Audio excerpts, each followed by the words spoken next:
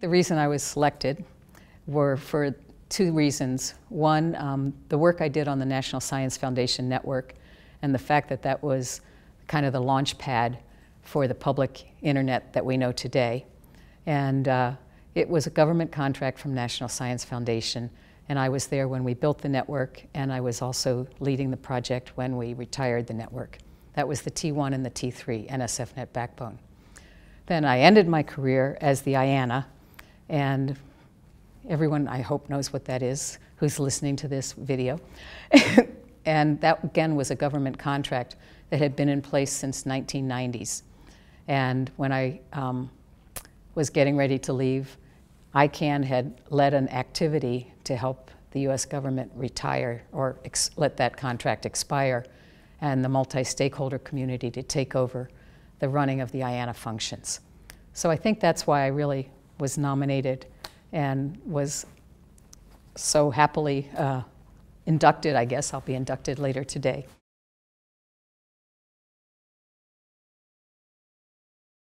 Initially, I'd say the, the biggest uh, hurdle was lingo or language, because um, when I joined the National Science Foundation team at Merit, which is a state funded consortium of universities in Michigan, um, I didn't have any background in networking.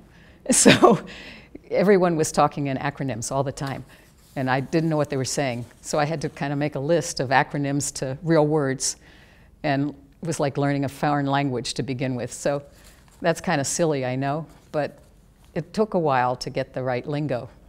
And then um, the other was, I don't think there was really any big hurdles because it was a very collaborative and cooperative time. Nobody was thinking of monetizing the internet at that point in time. The, some of the people uh, that were particularly important to helping me develop and giving me opportunities to become the person I became were um, Hans Werner Braun and Eric Aupperle. Both of them were at Merit. They were a huge influence in my getting started.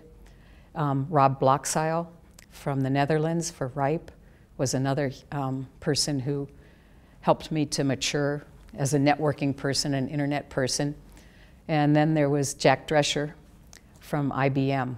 He was a very big influence in the early stages when we had a partnership with IBM and MCI to build the network. So I really hope that the internet can continue to have connectivity without bifurcation, that we don't have little internets everywhere. That was kind of what networking was before we started the TCP IP network. That, you know, you had a DECnet and you had a um, an energy sciences network and you had a NASA sciences network. And they didn't always communicate, so the connectivity was kind of choppy. So I'm really hoping for the future that the internet can continue to be this collaborative and cooperative venture with open communications. And I think sometimes politics gets in the way. So I hope that the politicians will be smart enough not to ruin that.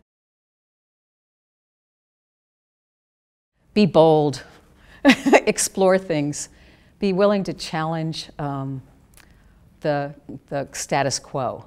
Not, not necessarily like throw everything out, not the baby with the bathwater, as we say, but uh, don't be afraid to experiment. You know, just because it's always been done one way doesn't mean that there might not be another way to approach the problem. And don't think things can't be done.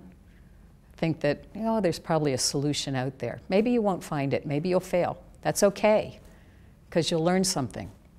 So um, that's my advice for the future people who want to do what we were doing. Some of the applications that people have adopted. I mean, who would have thought people would pay for ringtones? Somebody told me that early on. They were going to make up this application, and, and they say, Yeah, wouldn't you pay a penny for a ringtone? I'm going, No. Why would I pay a penny for a ringtone? Or Angry Birds. I mean, everybody wants to play Angry Birds. I just think some of the applications are adopted and are used like constantly. And it surprises me the things that um, I never thought people would care about. I think they're both the same thing almost.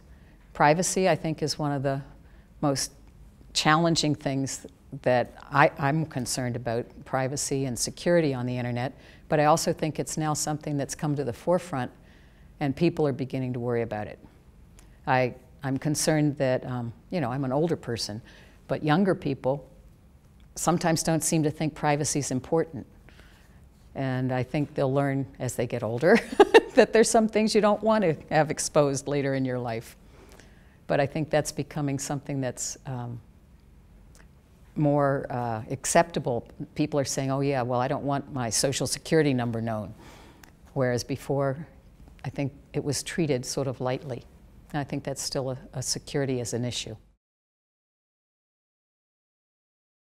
I think that um, I still hope that it'll be an open communication mechanism with a connectivity to everyone, that there's no borders or, or um, barriers to people being able to communicate using the internet.